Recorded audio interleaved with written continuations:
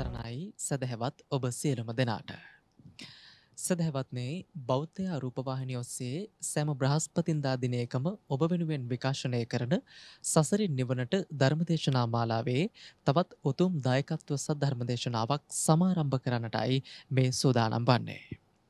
අදත් සුපුරුදු පරිදි දේශනා පවත්වන්නට දේශනා මෙහෙවන්නට බෞද්ධ රූපවාහිනී මැදිරි පරිශ්‍රයට වැඩම කරන්නට යෙදුණු කහපොළ ශ්‍රී සද්ධර්මාරාම මහා විහාරය මර්දන් කල්ල කරුණාගල චිත්ත විවේකාරාම යන උභය මහා විහාරාධීශ්වර කම්මට්ටානාචාර්ය පූජනීය තපෝවනයේ අරියදජ අපේ පින්වත් ස්වාමින් වහන්සේ අපි හැම දෙනාම එක්ව සාදුනාද පවත්වමින් දම් සභා මණ්ඩපයට පිළිගනිමු. සාදු සාදු සාදු සදහැවත්නේ අද මෙවුතුම් වූ සද්ධර්ම දේශනාව සඳහා සැදැහැති දායකත්වය ගනමින් කටයුතු කරන්නේ ඕස්ට්‍රලියාවේ මෙල්බන් නුවර පදිංචි නන්ද පෙරේරා මහතා මල්ලිකා පෙරේරා මහත්මිය ඇතුළු පවුල්වල පින්වත් පිරිස විසින්.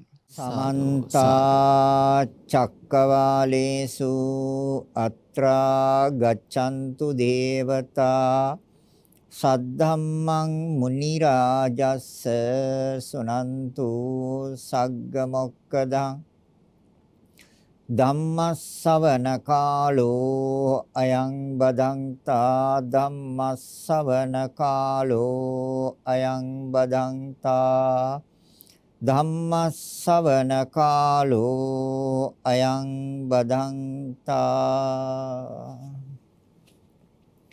නමෝ තස්ස භගවතෝ අරහතෝ සම්මා සම්බුද්දස්ස නමෝ තස්ස භගවතෝ අරහතෝ සම්මා සම්බුද්දස්ස. නමෝ තස්ස භගවතෝ අරහතෝ සම්මා සම්බුද්දස්ස. සද්ධා බුද්ධ සම්පන්න කාරුණික පින්වත්නි සසරින් නිවනට කියන මාතෘකාව යටතේ සෑම බ්‍රහස්පතින්දා දිනකම විකාශනය කරන ලෝක ලෝකේ පුරා විකාශනය කරන ධර්මදේශනා මාලාවේ තවත් එක ධර්මදේශනාවකට දායකත්වය ගන්නවා ඕස්ට්‍රේලියාවේ මෙල්බන් නුවර පදිංචි නන්ද පෙරේරා මහතා සහ මල්ලිකා පෙරේරා මහත්මිය විසින්. එයත්න්ගේ ප්‍රාර්ථනා බලාපොරොත්තු ඒඩී පෙරේරා මහතා එල්සී පෙරේරා මහත්මිය ඒ දෙමව්පියන් mm. ඒ වගේම ආර්නිස් අත්ත මහතා දයා mm, අබේවත්ත මහත්මිය මල්ලිකා පෙරේරා කියන අයගේ දෙමව්පිය වස්සරකට පෙර පරලෝ සැපත් ඔබට මහත්මිය අයිරාංගනී අබේසේකර මහත්මියට පින් අනුමෝදන් කරම පින් අනුමෝදන් කිරීම දෙපාර්ශ්වයේම මියගිය ඥාති මිත්‍රාදීන්ට පරලෝසප සියලු දෙනාට පින් අනුමෝදන් කිරීම අයිරාංගනී අමරසේකර මහත්මියට පින් පැමිණවීම. අසනීපයෙන් පසු වෙන බණ්ඩාර වෙල අමිතානන්ද ස්වාමින් වහන්සේට ආසු ජීවත්ව සිටින දෙපාර්ශ්වයේ සියලු ඥාති හිත මිත්‍රාදීන්ට නිදුක් නිරෝගී සුවපත් භාවය ප්‍රාර්ථනා කරනවා. රෝගාතුරව සිටින හිබුට් පෙරේරා මහතාට නිරෝගී සුව ප්‍රාර්ථනා කරනවා. දේශකයන්න් වහන්සේට සෙත් ප්‍රාර්ථනා කරනවා. ලක්වාසියා ලෝකවාසී සියලු දෙනාට කොරෝනා උවදුරින් මිදී නිරෝගී සුවය ලැබේවා කියලා ප්‍රාර්ථනා කරනවා. ඉතින් මෙන්න මේ අරමුණ ඉටු කර ගැනීම අරමුණ ඇතිව එපින්නස් සිටවිල්ල ඇතුව අද දවසේ මේ ධර්ම දේශනාවට දායකත්වය ගන්නවා. අපි සසරෙන් නිවනට කියන මාතෘකාව යටතේ පිළිවෙලින් විසුද්ධි මාර්ගය විවරණය කරගෙන ඉන්නේ. අද දේශනා කරන්නේත් ඒ කාංකා විතරණ විසුද්ධි පිළිබඳව. කාංකා කියන්නේ සැකය. ඒ සැකය අවිශ්වාසය, විමතිය, පෙර භවයේ පිළිබඳව සැකය. අනාගත භවයේ පිළිබඳව සැකය. වර්තමාන භවයේ පිළිබඳව සැකය. මේ තුන් ස්ථානයේ පවතිනා වූ සැකය පිරිසිදු කර ගැනීම කාංකා විතරණ විසුද්ධියයි. මොකද අපි සියලු දෙනාට සැකයක් තියෙනවා. පෙර භවයේ මමද මම නෙමෙයිද කවුරු වෙලා හිටියද කවර කෙසේ හිටියද කවරෙක් කළා කවරෙක් වුණාද කියන කරුණ. අනාගතේ මමද මම නෙමෙයිද? කවරෙක් වේද? කවරෙක්ව කවරෙක් වෙලා උපදීද? ආදී වශයෙන් අනාගත භවයේ පිළිබඳ සැක සංකා තියෙනවා විමති තියෙනවා. වර්තමාන භවයේ මමද මම නෙමෙයිද? කොහොම වෙනවද? කෙසේ වෙම්ද එයාදී වශයෙන් වර්තමාන භවයේ පිළිබඳව සැක තියෙනවා කවරෙක් වෙලා කවරෙක් වෙයිද ආදී වශයෙන් මේ සැක සංකා තියෙනවා මේ සැක සංකා විමති අවිශ්වාස මේ සියල්ල පිරිසිදු කරගන්න තියෙන මාර්ගය කාංකා විතරණ විසුද්ධි මාර්ගය. කාංකා විතරණ විසුද්ධියයි. ඉතින් අද ධර්ම දේශනාවත් ඒ පිළිබඳව පසුගිය ධර්ම දේශනාවේ අපි ద్వාර දෙකක් අරගෙන මේ හේතුඵල ධහම අනුව අපි විග්‍රහ කරලා පෙන්වලා දීලා තියෙනවා. ඒ චක්කු ద్వාරය හෙවත් ඇස ඒ සතර මහා ධාතු හෙවත් සුද්දාෂ්ටක කලාපය ඒ හටගන්නේ නාම ධර්මයන්ගේ ප්‍රත්‍යයෙන් කියන කාරණය, රූප ධර්මයන්ගේ ප්‍රත්‍යයෙන් කියන කාරණයත් ඒ සෝතද්්වාරය සෝත ප්‍රසාද රූපය සෝතද්්වාරය කියන ඒ ධර්මතාවයත් හේතු ප්‍රත්‍යයෙන් හටගන්න ආකාරය අපි පෙර ධර්ම දේශනාවේ සඳහන් කළා. ඉතිරි කරුණ පිළිබඳවත් අපි මේ සැක සංකා නැතිවීම පිණිස අද ධර්ම දේශනාව සිදු කරනවා. මම කලින් පැහැදිලි කරලා දීලා තියෙනවා කරුණු 201ක් අපිට මේ ප්‍රත්‍යක්ෂ කර ගැනීම සඳහා එහෙම නැත්නම් තාමත්ම නිවැරදිව නුවණින් අවබෝධ කර ගැනීම සඳහා අපි බෙදා බැලිය යුතුයි. වෙන් කරලා බැලිය යුතුයි.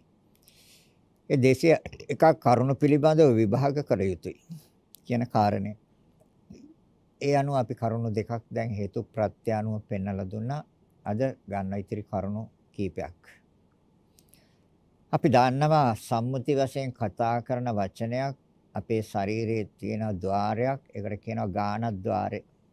ගාන කියන්නේ නාස්‍ය, ద్వාරය කියන්නේ දොරක්.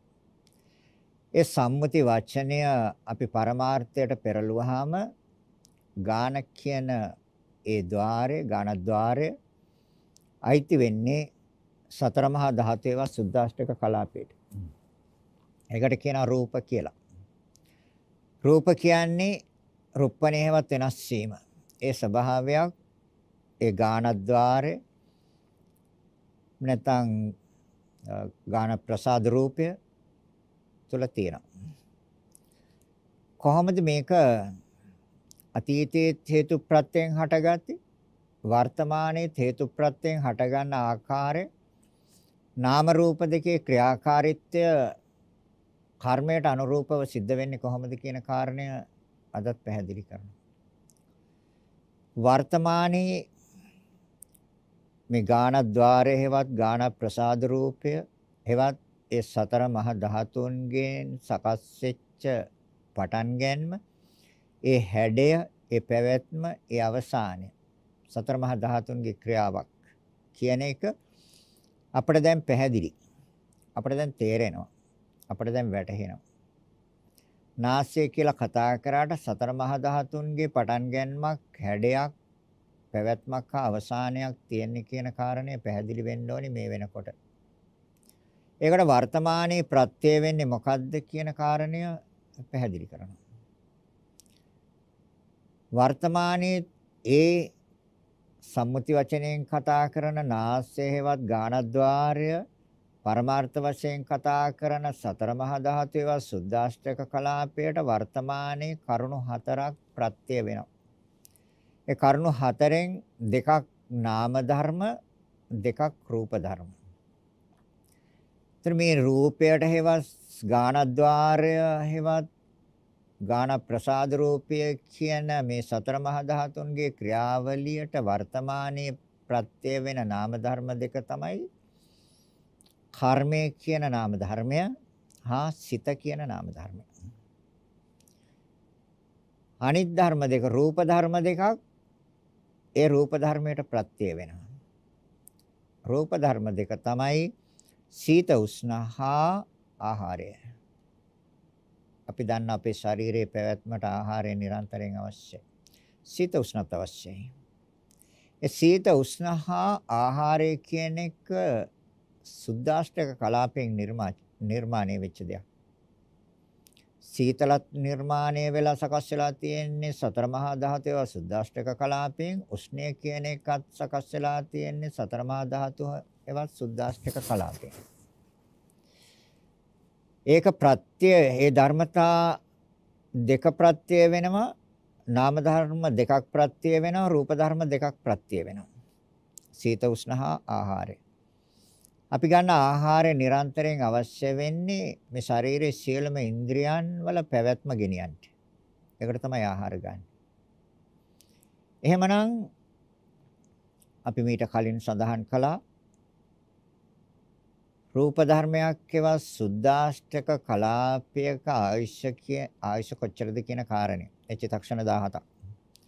ତර චිතක්ෂණ 17ක් තුළ ඉපද බිඳෙන ඒ සුද්දාෂ්ටක කලාපය නැවත නැවත නැවත නැවත ඒකේ ඒ චිතක්ෂණ 17ක් තුළ ඉපද බිඳින බව අපට පෙන්වන්නේ නැතුව මේ නාම ධර්ම දෙකක් ඒ කියන්නේ කර්මය හා සිත සිතේ ප්‍රවෘත්තිය.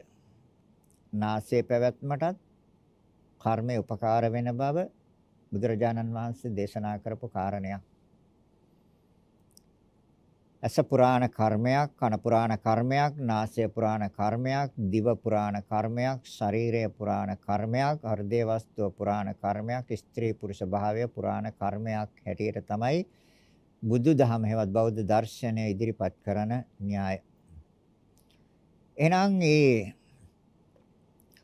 ගාන ප්‍රසාද රූපේ හේවත් ගාන ద్వාරේ හේවත් සම්මුති වචනයෙන් කතා කරන නාසය කියන මේ ධර්මතාවය චිතක්ෂණ 17ක් තුල ඉපද බින්දිනවා. හැබැයි නාම ධර්ම දෙකක් ප්‍රත්‍ය වෙනවා කර්මය හා සිතේ පැවැත්ම.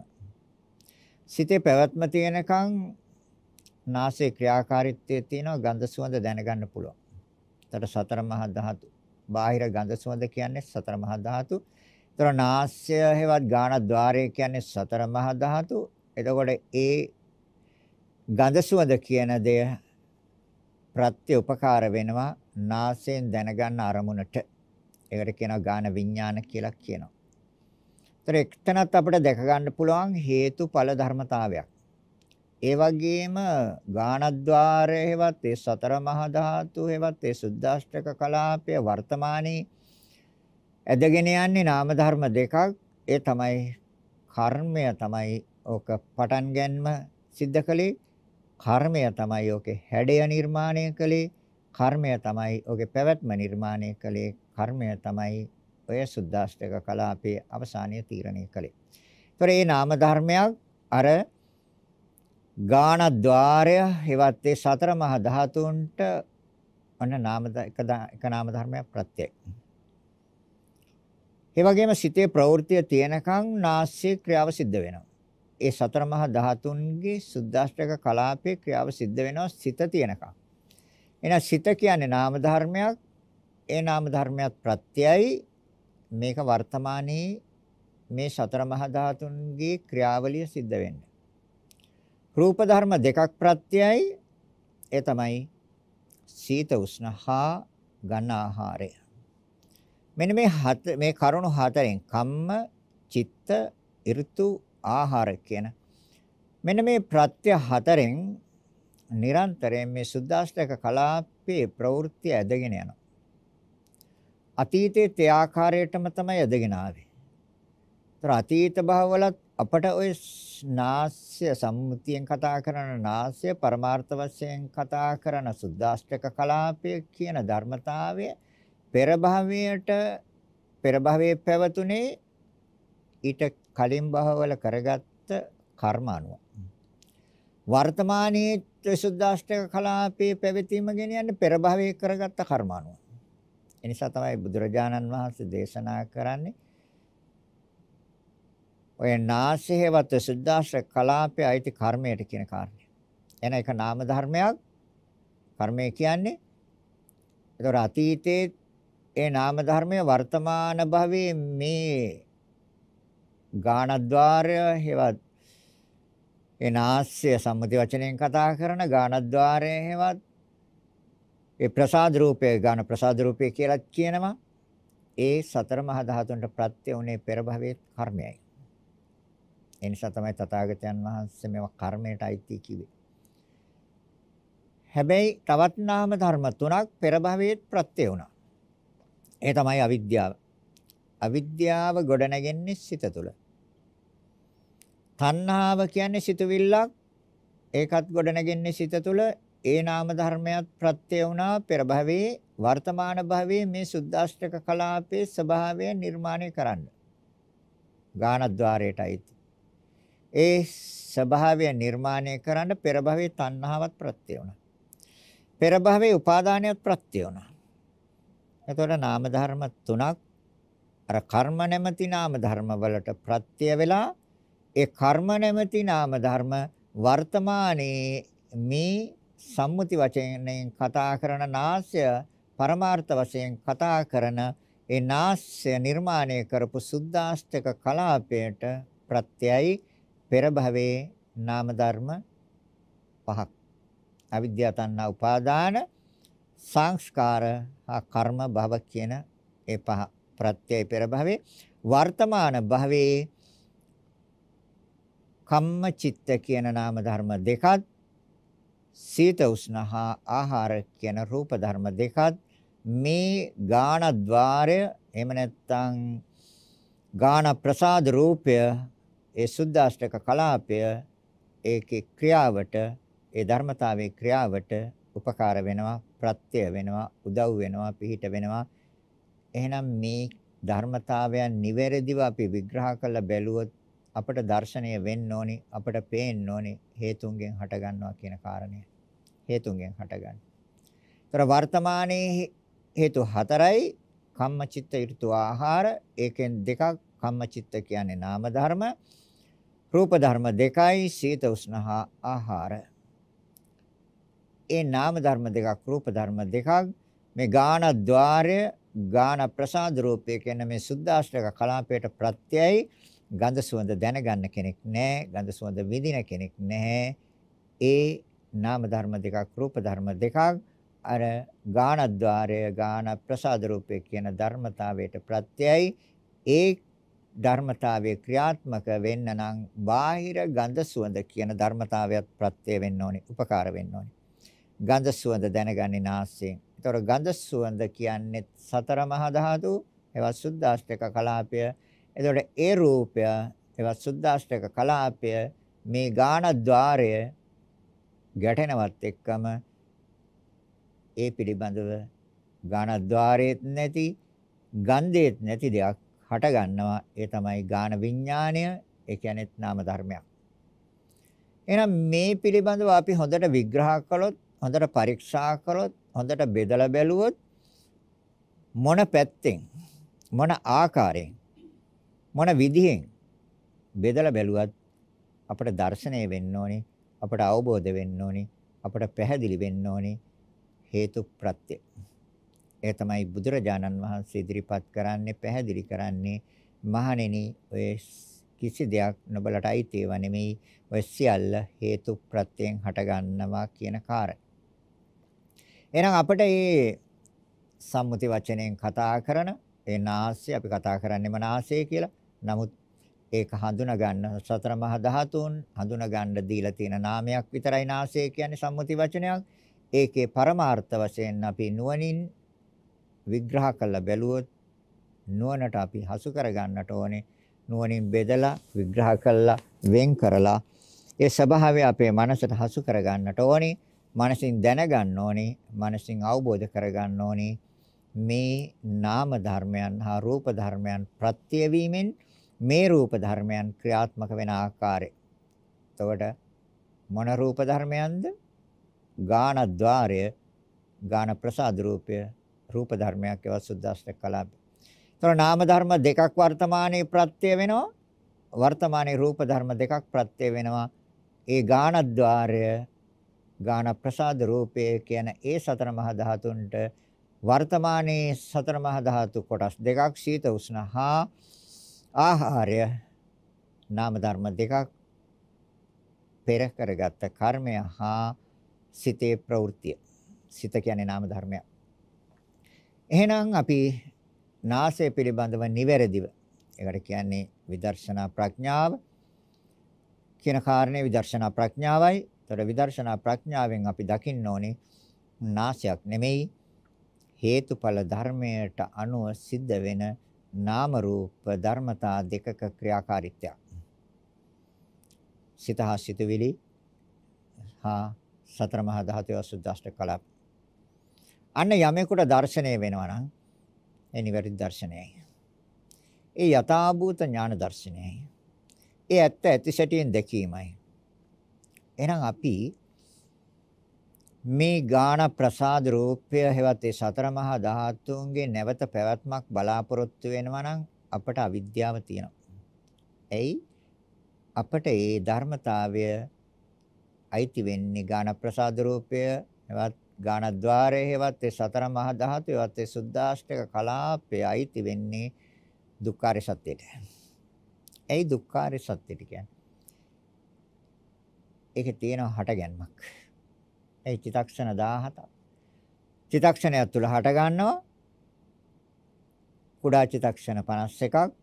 එක චිතක්ෂණයක් තුල හට ගන්නවා. එක චිතක්ෂණ චිතක්ෂණයක් තුල විනාශ වෙනවා. චිත කුඩා චිතක්ෂණ 49ක් තුල දිරනවා. ಜಾති. ජරාවටපත් වෙනවා. ඒකේ විපරිණාමයක් වෙනස් වෙන ස්වභාවයක් තියෙන ආකාරයෙන් අන්න ආකාරයක් ගැනීම නිසා ජරාවටපත් වෙනවා. ඒක කවදා හරි බිඳිලා අවසන් වෙනවා මරණයක් තියෙනවා. ඒ පිළිබඳව ශෝක ඇති වෙනවා, කනගාටු ඇති වෙනවා, හැඬීම් ඇති වෙනවා, දුක්ඛ දෝමනස්යන් ඇති වෙනවා. ඒ නිසා අපි මේ ගාන ප්‍රසාද රූපය නැවත නැවත බලාපොරොත්තු වෙනවා නම් ඒ සුද්දාෂ්ටක කලාපය මේ නාම ධර්ම හා රූප ධර්ම උපකාර කරගෙන ඒ ක්‍රියාත්මක වෙන ඒ පැවැත්ම ගෙනියන ඒ සුද්දාෂ්ටක කලාපයම අපි නැවත බලාපොරොත්තු වෙනවා නම් අපි දුක කියන එකත් බලාපොරොත්තු වෙන්න ඕනේ. ඇයි දුක කියන එක බලාපොරොත්තු වෙන්න කියන්නේ? ඒ විපරිණාමය තුළ දුක හටගන්නේ. ඒ වෙනස් වීම තුළ දුක හටගන්නේ. බුදුරජාණන් වහන්සේ පැහැදිලිවම පෙන්වලා දෙනවා යම් දෙයක් අනිත්‍යද, යම් දෙයක් අස්තිරද, යම් දෙයක් తాවකාලිකද, යම් දෙයක් වෙනස් වෙනවද? මහණෙනි එතන දුකක් තියෙන්නේ. නොවෙනස් වෙන ධර්මතාවයක් මේ ලෝකයේ යම් තැනක තියෙනවද? මහණෙනි ඒකනම් සැපයි. නොවෙනස් වෙන ධර්මතාවයක් මේ ලෝකේ තියෙන එකයි ඒ නිවනයි. ඒ අර අනිකුත් සියලුම ධර්මතාවයන් හේතු ප්‍රත්‍යයෙන් හටගන්නේ වෙනස් වෙන ස්වභාවයෙන් යුක්තයි. එහෙමනම් අපි මේ යථා ස්වභාවය, ඒ යථාභූත ඥාන දර්ශනය ඇති කරගෙන අපි නැවත හිතන්න ඕනේ, නැවත නැවත අපි කල්පනා කරන්න ඕනේ අපි මේ මගේ කියලා මට අයිති කියලා මේ ඇලුම් කරන මේ සතර මහා ධාතුන්ට අපි නැවත ඇලුම් කරනවද? ඒයින් අපට ජරා මරණ ශෝක පරිදේව දුක්ඛ දෝමනස් උපායාසම නම් අපට උපදවන්නේ අපි මේ ගාන ප්‍රසාද රූපය නැත්නම් ගාන ద్వාරය කියන මේ සතර මහා ධාතුන්ගේ ක්‍රියාවලියට අපි නැවත කැමති වෙනවද? කැමති වුණොත් ලැබෙනවා. කැමති කියන්නේ කාමච්ඡන්දයයි. කාමච්ඡන්දය කියන්නේ ලෝභයයි. ලෝභය කියන්නේ තෘෂ්ණාවයි. තෘෂ්ණාව කියන්නේ චන්ද රාගයයි. එහෙනම් මේ තෘෂ්ණාව, චන්දරාගය, කැමැත්ත, ලෝභය, ආශාව, ඇල්ම මේ මේ සුද්දාශ්‍රක කලාපයට තිබුණොත් තථාගතයන් වහන්සේ දේශනා කරන නැවතෝක ලැබෙනවා. නැවත ලැබෙන්නේ එතකොට නාසයක් නෙමෙයි සම්මුති වශයෙන් නාසයක් ගැන කතා කරුවට අපට නැවත ලැබෙන්නේ අර සතර මහා ධාතුන්ගේම ක්‍රියාවලියයි. ඒ සුද්දාෂ්ටක කලාපයේම ක්‍රියාවලියයි. පුච්චලයක් නෑ. ගඳ සුවඳ දැනගන්න පුච්චලෙක් නැහැ කියන කාරණය තථාගතයන් වහන්සේ පැහැදිලි කරනවා. ඒකත් අපට හොඳට දැర్శණීය වෙන්න ඕනේ, දැක ගන්න ඕනේ, දැනගන්න ඕනේ. ගඳ සුවඳ විඳින පුච්චලෙක් නැහැ කියන්නේ ගානද්්වාරය එවත් ගාන ප්‍රසාද රූපය සතර මහා ධාතු ශක්තියින් හතරක්. එතකොට ඒකට ප්‍රත්‍ය වෙන්නේ බාහිර ගඳ සුවඳ. ඒ ගඳ සුවඳ කියන්නේ සතර මහා ධාතු. සතර මහා ධාතු දෙකක් එකට ගැටීම, එකට එකතු වීම නිසා ඒ දෙකේම නැති දෙයක් වෙනවා ගාන විඥාන කියන එක.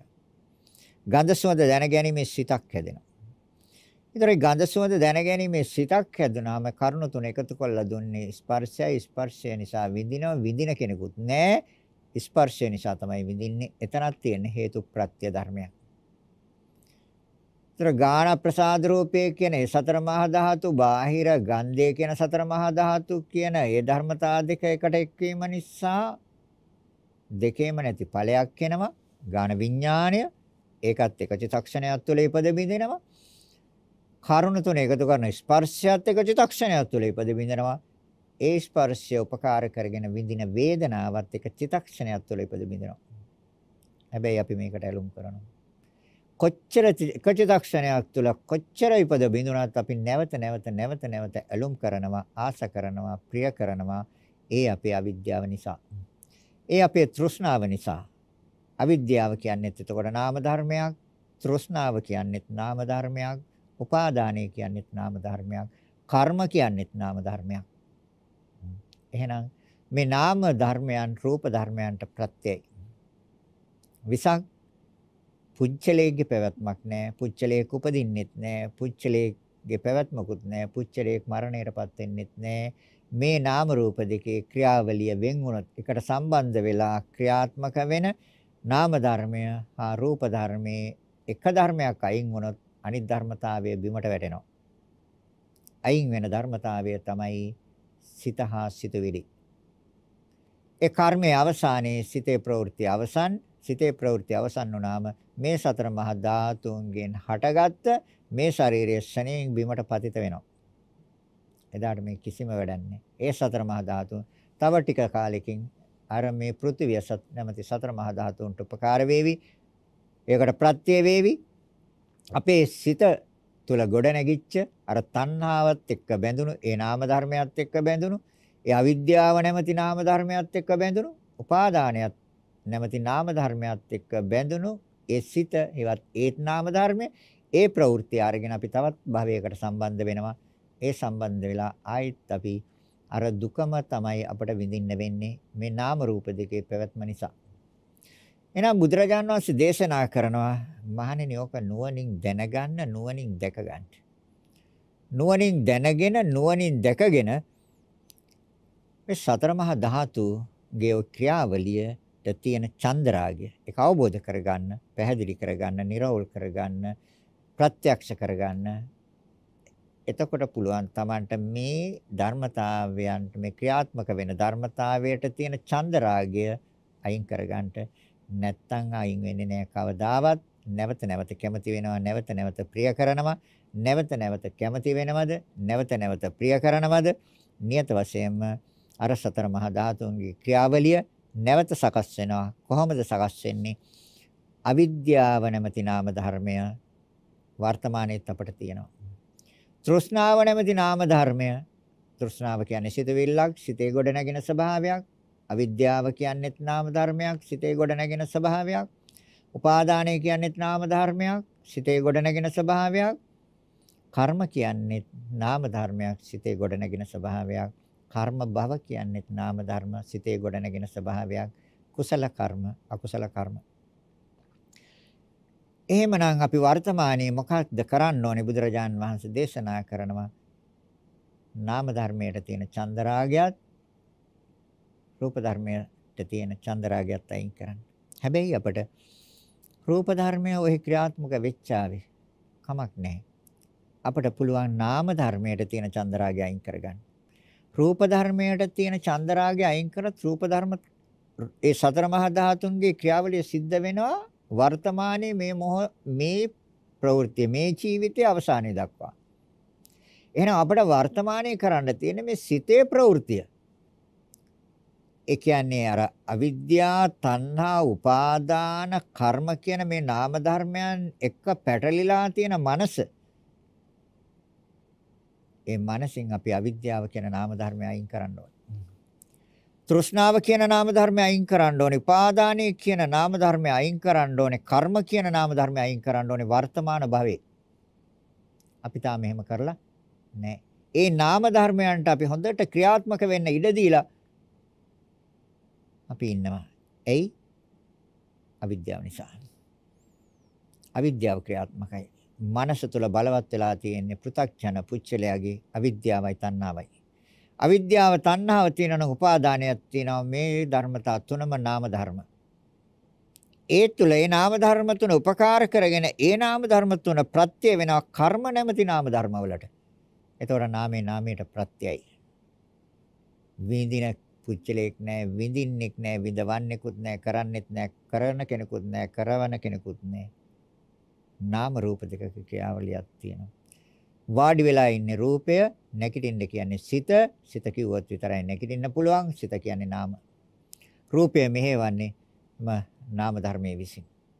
ඒ රූප ධර්මයේ මේ නාම ධර්මයන්ගේ ක්‍රියාවට පැවැත්මට අනුබල දෙනවා, උදව් කරනවා, උපකාර කරනවා, පිහිට වෙනවා.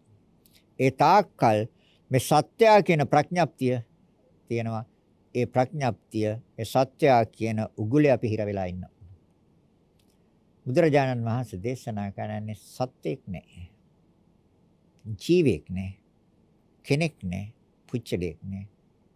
සම්මුතිය තුළ තමයි ඔය සියල්ල මනසින් ගොඩනගාගෙන ඉන්නේ සත්ත්ව පුච්චල සංඥාව සත්‍යයක් දාගෙන. එහෙමනම් අපි පරමාර්ථයට ගියොත් තථාගතයන් වහන්සේ දේශනා කරපු ධර්ම අවබෝධ කරගන්න පුළුවන්. පරමාර්ථයට නොගිහින් සම්මුතිය තුල පැටලිලා තියෙන තාක්කල් මනස චතුරාර්ය සත්‍ය අවබෝධ වෙන්නේ නැහැ. මේ ප්‍රවෘත්තිය පැවැත්ම අවබෝධ වෙන්නේ නැහැ නිවැරදිව. ස්කන්ධ ධාතු ආයතන පිළිබඳව අවබෝධ වෙන්නේ නැහැ. පටිච්චසමුප්පාදය පිළිබඳව අවබෝධ වෙන්නේ නැහැ. නාම රූප පිළිබඳව අවබෝධයක් වෙන්නේ නැහැ.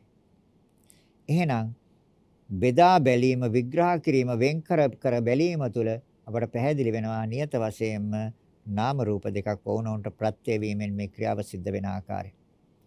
අන්න ඒ දර්ශනය තුළ අපි සතර මහා ධාතුන්ට කැමති වෙන්නේ නැහැ. ඒ සතර මහා ධාතුන්ගේ පටන් ගැනීම හා හැඩය හා පැවැත්ම හා අවසානයට උපකාර වෙන නාම ධර්මයන්ට අපි කැමති වෙන්නේ නැහැ. ওই දෙකටම තියෙන කැමැත්ත අයින් කරගන්න ඕනේ. කැමැත්ත කියන්නේ තෘෂ්ණාව, බැඳීම, ආසාව. තියනවද නැද්ද කියලා අපි නුවණින් කල්පනා කරොත් තියනවා කැමැත්ත. කැමැත්ත කියන්නේ සිතුවිල්ලක් හෙවත් නාම ධර්මයක්. එහෙනම් අයින් කරන්න තියෙන නාම ධර්මයක්. කර්මය කියන නාම ධර්මය අයින් කරන්න බෑ. කර්මයෙන් දැන් මේ හැඩය හදලා ඉවරයි. නාසය හෙවත් ගාන ద్వාරය හෙවත් ගාන ප්‍රසාද රූපය පටන් ගැනීම හදලා ඉවරයි කර්මයෙන්. ඒ නාම ධර්මයෙන් හැදුවේ. එතකොට ඒ හැඩය හැදුවා ඒ නාම ධර්මයන්ගෙන්. ඒ පැවැත්ම හැදුවා නාම ධර්මයන්ගෙන්. ඒ අවසානයේ හැදුවා නාම ධර්මයන්ගෙන්. අපිට ඒක දැන් නවත්තන්න බෑ. ඒක ක්‍රියාත්මක වේවි. හැබැයි අපිට මේ භවයේ ඊගාව භවයට ඔය ක්‍රියාව සිද්ධ වෙන ඒ ස්වභාවය අපිට නවත්තන්න පුළුවන්. එකම ධර්මතාවයක් අයින් කළොත්. ඒ අයින් කරගන්න තියෙන්නේ නාම ධර්මයක්. ඒ නාම ධර්මයට කියන්නේ චන්දරාගය කියලා තෘෂ්ණාව කියලා. සිතේ ප්‍රවෘත්ති. ඒතර චන්දරාගය තෘෂ්ණාව අනුව තමයි සිතේ ප්‍රවෘත්ති ක්‍රියාත්මක වෙන්නේ. බුදුරජාණන් වහන්සේ දේශනා කරන මහණෙනි මේ තෘෂ්ණාව කියන ධර්මතාවය එකම ධර්මතාවය. මේ මනසින් ඉවත් කරගත්තොත් ඊගව භවයට ඔය සුද්දාෂ්ටක කලාපයට ක්‍රියාත්මක වෙන්න බෑ. විශ්සේ සුද්දාෂ්ටක කලාප වන තරම් ක්‍රියාත්මක වේවි. ගස් හැදෙනවා, ගහකොළ හැදෙනවා, ඉරහඳ, ගස් ගල්, කඳු පර්වත, ඇල දොළ ගංගා. ඔය ඒ සියල්ල නිර්මාණය වෙවි. ඒක අපිට නවත්තන්න බෑ. අපිට අපේ මේ ස්කන්ධ පංචකයේ තියෙන මේ නැවත නැවත දුකටපත් කරන නැවත නැවත දුකට පෙරලන මේ ස්වභාවයන්ගේ අවසානයක් අපිට දකින්න නම් අපි එකම ධර්මතාවයක් අයින් කරන්න ඕනි ඒ තමයි චන්දරාගයවත් තෘෂ්ණාව තෘෂ්ණාව නැද්ද? තෘෂ්ණාව තියෙනවා නම් ඒ නාම ධර්මය උපාදානයේ නැමැති නාම ධර්මයට ප්‍රත්‍ය වෙනවා. උපාදානය වල තණ්හා උපාදාන නැමැති නාම ධර්මයන් කර්ම නැමැති නාම ධර්මයන්ට ප්‍රත්‍ය වෙනවා. වර්තමානෙත් වෙන්නේ ඒකම තමයි. ඇයි වර්තමානයේ එහෙම වෙනවා කියන්නේ? වර්තමානයේ අපිට තෘෂ්ණාව නැමැති නාම ධර්මය සිතුවිල්ල නැද්ද? තියෙනවා. උපාදානීය නැමැති නාම ධර්මය ඒ සිතුවිල්ල නැද්ද? තියෙනවා. එතකොට ඒ අනුව අපි කර්ම කරනවද? කරනවා. කුසල කර්මත් කරනවා. තෘෂ්ණාව මූලික කරගෙන කුසල කර්මත් කරනවා. භව තණ්හාව මූලික කරගෙන ඊගා භවයේ හොඳ තැනක් හදාගන්න. හොඳ තැනක් කොහෙද විශ්වයේ තියෙන්නේ? බුදුරජාණන් වහන්සේ හොඳ තැනක් කොහොමද දේශනා කළනේ? తాවකාලික වශයෙන් යම් සතුටක් සොම්නසක් විඳින්න පුළුවන් තැනක් තිබ්බට සදාකාලික සැනසෙල්ලක් ලබන්න සුදුසු තැනක් මේ විශ්වයේ ලෝකයේ කිසිම තැනක නැහැ. ඒ නිසා තමයි තථාගතයන් වහන්සේ දේශනා කරන්නේ කාම ලෝක, රූප ලෝක, අරූප ලෝක කියන මේ ත්‍රිවිධ ලෝකෙම දුකයි. දුක එක්ක පැටලිලා තියෙන. එහෙනම් අපි චන්ද්‍රාගය අයින් කරනවා. ඒකම සිතුවිල්ලයි, එකම නාම ධර්මයයි අයින් කරගන්න තියෙන්නේ. ඒතර වර්තමානයේ කර්මයෙන් ක්‍රියාත්මක වෙනවා. ඒ පෙර කරගත්ත නාම ධර්මය මේ රූප ධර්මයන්ට ප්‍රත්‍ය වෙලා ඒ ගානද්්වාරේ ඒ සතර මහා ධාතුන්ගේ ක්‍රියාවලිය සිද්ධ වේවි. ඒක අපිට නවත්තන්න බෑ. වර්තමානයේ ඒ කර්මය ස්වභාවය අනුව වර්තමානයේ ඒ කර්මයේ උපස්තම්භක කර්මයක් වශයෙන් ඒක ක්‍රියාත්මක වේවි. එතකොට සීත උෂ්ණ දෙකේ අනුව සමෝපවතීම අනුව ඒ සුද්දාෂ්ටක කලාපේ ක්‍රියාව සිද්ධ වේවි. ගන්න ආහාරයෙන් ඒ සුද්දාෂ්ටක කලාපේ ක්‍රියාව සිද්ධ වේවි. අපට තොර කම්ම චිත්ත ඍතු ආහාර කම්ම චිත්ත කියන්නේ නාම ධර්ම දෙකක් සීත උෂ්ණ ආහාර කියන්නේ රූප ධර්ම දෙකක්. ඒ හතරෙන් අපට එකම ධර්මතාවයක් අයින් කරගන්න ඕනේ. අයින් කළොත් ඔය ප්‍රවෘත්තිය ඔය සියල්ල අවසානයක් දකින්න පුළුවන්. ඒ තමයි නිවන කියන එක නිවීම කියන එක නිවන කියන එක. එහෙනම් අපිට තියෙන එකම ධර්මතාවයක් අයින් කරන්න මොකද්ද? අර සිතේ ප්‍රවෘත්තිය සිතේ ප්‍රවෘත්තිය ගෙනියන්නේ අවිද්‍යාව නැමැති නාම ධර්මය, තණ්හාව නැමැති නාම ධර්මය, උපාදානය නැමැති නාම ධර්මය හා කර්ම නැමැති නාම ධර්මය කියන මෙන්න මේ ධර්මතා නිසා තමයි සිතේ ප්‍රවෘත්තිය තියෙන්නේ. නැත්තම් දැනුණා නම් දැනුණ විතරයි. දැනුණා නම් දැනුණ විතරයි, ඇහුණා නම් ඇහුණා විතරයි, දැක්කා නම් දැක්කා විතරයි. දිත්තේ දිත්තමත්තම් සුතේ සුතමත්තම් මුතේ මුතමත්තම් විඤ්ඤාතේ විඤ්ඤාතමත්තම්. අපි එතනට එන්න ඕනේ කවදා හරි. ඊට කලින් අපි මේ හේතු ප්‍රත්‍ය දකිනවා. ତර කාංකා විතරණ විසුද්ධිය. තර කාංකා විතරණ විසුද්ධිය අපි දකින්නේ හේතු ප්‍රත්‍ය. දැන් ඒතකොට හේතුන්ගෙන් නෙමෙයිද? අතීතයේ හේතුන්ගෙන් නෙමෙයිද මේ වර්තමාන භවයේ මේ සුද්දාෂ්ටක කලාපය? ඒතකොට ඒක ඇදගෙන යන්න නාම නාම රූප දෙක ප්‍රත්‍ය වෙලා වර්තමානයේ හේතු ප්‍රත්‍යෙන් නෙමෙයිද? එහෙනම් මේ විදිහටම තමයි අනාගත භවයටත් යන්නේ. අනාගත භවයේ හේතු ප්‍රත්‍යයන්ගෙන් සිද්ධ වෙනවා නාම රූප දෙකේ ක්‍රියාවලියක් විසක් සත්‍යයේ පුච්චලයේ ක්‍රියාවක් නැහැ. මේ දර්ශනය තමයි කාංකා විතරණ විසුද්ධි සැකයක් නැහැ, අවිශ්වාසයක් නැහැ, විමතියක් නැහැ. අතීත හේතු පහකින් වර්තමාන ඵල පහක් හටගත්තා. අතීත හේතු පහම නාම ධර්මයන්. මොනවාද අපි අතීතේ හදපු හේතු? අතීතයේ අපි කර්ම නැමැති නාම ධර්මයන් අපේ මනසේවත් විඥානයේ අපි ක්‍රියාත්මක කරගත්ත පැටලුවා. විඥානයේ පැටලුවේ කර්ම නැමැති නාම ධර්මයන්. ඒ කර්ම නැමැති නාම ධර්මයන් මේ විඥාණයට අනුගත කරන්න ප්‍රත්‍ය උනේ උපකාර උනේ අවිද්‍යාව නැමැති නාම ධර්මය, තණ්හාව නැමැති නාම ධර්මය හා උපාදානය කියන නාම ධර්මය අතීත භවයේ. එතකොට අතීත භවයේ පහක්. ඒ හේතු පහෙන් වර්තමාන ඵල පහක් හැදුවා. ඒ තමයි විඥාණය ප්‍රතිසන්දි විඥාණය. එක නාම ධර්මයක්. ඒ විඥාණය ප්‍රතිසන්දියේදී බැසගත් තැනම මවගේ ගර්භාෂයේ කලලේ යුක්තානුව පටන් ගත්තා. වේදනා සංඥා සංකාර විඥාන කියන නාම ධර්ම වේදනා සංඥා සංස්කාර කියන නාම ධර්මයන් එක්ක රූප ධර්මයන් අර කලල රූපය ක්‍රියාත්මක වුණා. ඒ ක්‍රියාව පටන් ගත්තා. නාම රූප දෙකේ ක්‍රියාවක් පටන් ගත්තේ. ඒ ක්‍රියාවේ දැනුත් සිද්ධ වෙගෙන යනවා. ඒ නාම රූප දෙකේම ක්‍රියාව දනු සිද්ධ වෙගෙන යනවා. ତර විඥාන නාම රූප ආයතන හයක් පහල කරලා දුන්නේ නාම රූප දෙකේ වැඩිම නිසා. නාම රූපච්ච සලායතන. අන ආයතන හයක ක්‍රියාකාරීත්වය තියෙනවා. අපේ ඇහැ නැමැති සුද්දාෂ්ටක කලාපයට බාහිර රූප නැමැති සුද්දාෂ්ටක කලාප ප්‍රත්‍ය වෙනවා. නැද්ද? කන නැමැති ඒ සම්මුති වචනයෙන් කතා කරන කන නැමැති මේ සුද්දාෂ්ටක කලාපයට බාහිර ශබ්ද නැමැති සුද්දාෂ්ටක කලාප හේතු වෙනවා. නැතුව මේ ප්‍රවෘත්තිය ගෙනියන්න බෑ. ගානද්්වාරය ගාන ගාන ප්‍රසාද රූපය ගානද්්වාරය කියන මේ සතර මහා ධාතුන්ගේ ක්‍රියාවලියට බාහිර සතර මහා ධාතුන්ගේ ක්‍රියාවලිය සම්බන්ධ වෙනවා ඒ තමයි ඒ සතර මහා ධාතු ගන්ධය කියන එක. ජීවහද්්වාරය ජීව ප්‍රසාද රූපය කියන එකටත් බාහිර රසය කියන ඒ සතර මහා ධාතුන් ප්‍රත්‍ය වෙනවා ස්පර්ශ වෙනවා. මනස කියන නාම ධර්මයට බාහිර රූප ධර්මය සද්දාස්ත්‍රක කලාප අරමුණු වෙනවා. එහෙම නැත්නම් සිතුවිලි අරමුණු වෙනවා.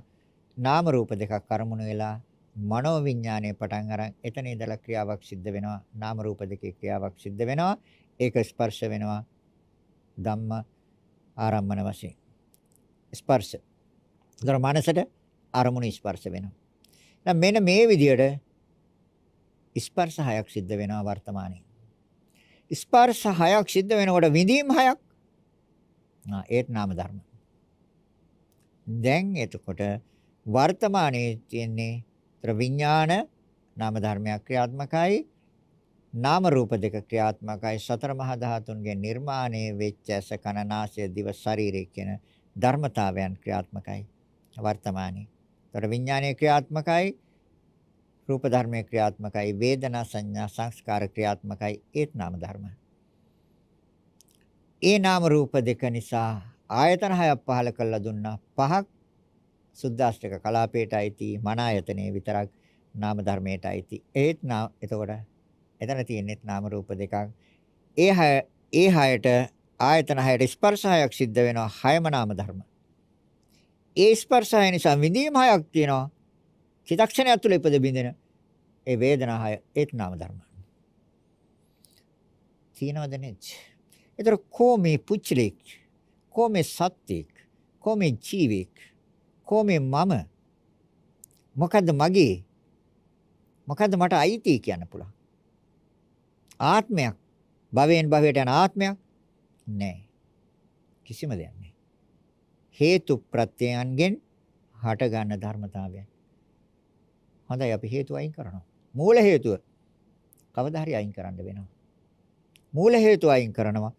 ඒ තමයි නාම ධර්ම එකම නාම ධර්මය. අර කම්ම චිත්ත ඍතු ආහාර කියන ඒ හතරෙන් එක නාම ධර්මයක් ක්‍රියාත්මකයි. කර්මය කියන එක ඒක ක්‍රියාත්මක වේවි. මේ භවයේ අවසානය දක්වා. එහෙනම් චිත්ත ඒ කියන්නේ සිත විඥාණය මනස මානසිකාරය කියන මේ ධර්මතාවයත් එක්ක පැටලිලා තියෙන කර්ම කියන නාම ධර්මයන් මේ භවය අපි හදන්නේ. ඒ විඥානයේ ප්‍රවෘත්තියට අපි කර්ම එකතු කරන්නේ. කර්ම නැමැති නාම ධර්මයන් ප්‍රත්‍ය කරගන්නේ, උපකාර කරගන්නේ. ඒ කියන්නේ කුසල කර්මත් නෑ, අකුසල කර්මත් නෑ. ඒවා ප්‍රතිසන්දියක් ගන්න තරම් බලවත් කරලා දෙන්නේ නෑ. රාතන් වහන්සේට කරන්නේ ඒකයි. නැවත ප්‍රතිසන්දියක් ගන්න තරම් කර්ම බලවත් වෙන්නේ නැහැ රහතන් වහන්සේගේ. ජන කර්මය ජනක කියන්නේ ගාව භවයේ උපද්දවන්න පුළුවන් ගාව භවයක් හදන්න පුළුවන්. හා පැවැත්ම ගෙන යන්න පුළුවන් කර්මයට ජනක කර්මය කියන්නේ. ජනක කර්මයක් හදන්නේ රහතන් වහන්සේ. ඒකට ප්‍රත්‍ය කරගන්නේ මේ නාම ධර්මයන් මොන නාම ධර්මයක්ද? අවිද්‍යාව නැමැති නාම ධර්මය අවසන්, තෘෂ්ණාව නැමැති නාම ධර්මය අවසන්, උපාදානය නැමැති නාම ධර්මය අවසන්, කර්ම කියන නාම ධර්ම අවසන්. ඒ නාම ධර්මයන් ක්‍රියාත්මක වෙන තාක්කල් රූප ධර්මයන්ගේ පැටන් ඒක සතර මහා ධාතුගේ පටන් ගැනීම හැඩය පැවැත්ම අවසානයේ තීරණය කරනවම තමයි. පැහැදිලිද කියන එක. එතකොට සත්වයක් නෑ නේද? පුච්චලයක් නෑ නේද? ජීවයක් නෑ නේද? මොකද්ද තියෙන්නේ? මොකද්ද මේ සිද්ධ වෙන්නේ? මේ ක්ෂණයක් ක්ෂණයක් ක්ෂණයක් ක්ෂණයක් පාසා ඉපද බින්දන මේ නාම රූප දෙකකටනේ අපි මේ ඇලුම් කරන්නේ. හැබැයි ඇලුම් කරන්න තරම් වෙලාවකුත් නැහැ. ඒ ඒ ඇලුම් කරන සිතත් එක චිතක්ෂණයක් තුළ බිඳිනවා. ඒත් ඇලුම් කරනවා. නැවතත් ඇලුම් කරනවා.